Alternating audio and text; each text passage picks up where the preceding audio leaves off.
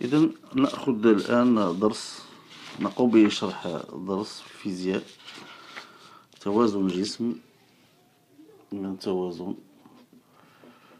توازن جسم صلب قابل للدوران حول محور ثابت. أولا أولا. إذا أول شيء هو نأخذ مثلا مفعول قوة. إذا مفعول مفعول قوة على دوران جسم.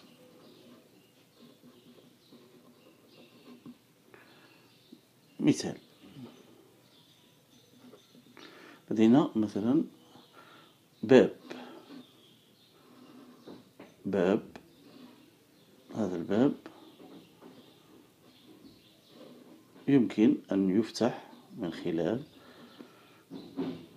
من خلال دورانه حول محور. مثلا نفترض أن لفتح الباب يدور أو يجب إدارة هذا الباب في هذا المنحى. الآن إذا طبقنا قوة على هذا الشكل F واحد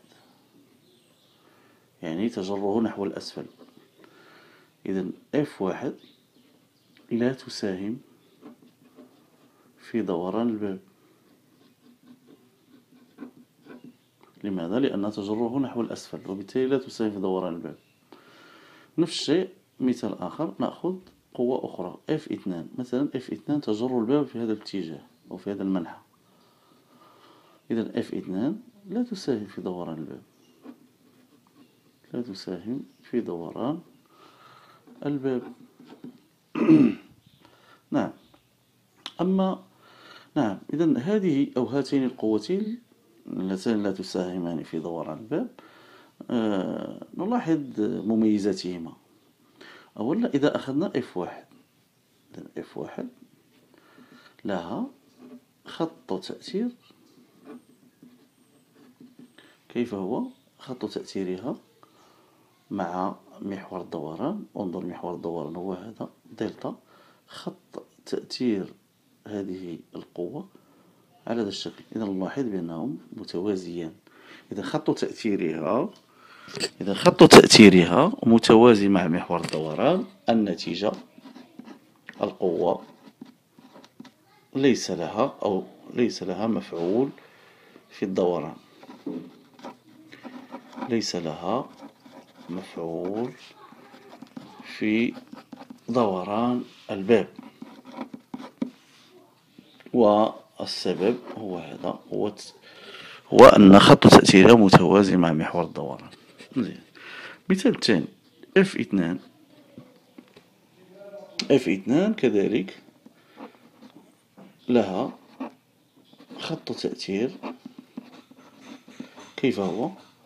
خط تأثير F اثنان مع محور الدوران إذا خط تأثيرها متعامد. ومتقاطع.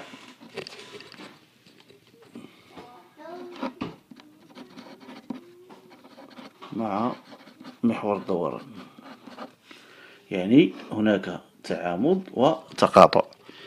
ليس مثل تعامد وليس هناك تقاطع. إذا هناك تعامد وتقاطع. نعم إذا عندما تكون القوة لها خط تأثير متعامد ويقطع محور الدوران في هذه الحالة القوة ليست لها ليس لها مفعول في دوران الجسم. نعم الآن إذا كان محور الدوران محور الدوران على هذا الشكل وخط تأثير متعامد ولكن لا يتقاطع. هناك مسافة بينهما. في هذه الحالة إذا أخذنا F3 إذا أخذنا F3 على هذا الشكل هذه F3 آه قلنا متعامد خط تأثيرها خط تأثير F3 متعامد مع محور الدوران ولكن لا يتقاطعان يعني متباعدان. إذا في هذه الحالة لها مفعول في دوران الباب آه إذا آه، سنتابع في الشريط الموالي. شكرا لكم.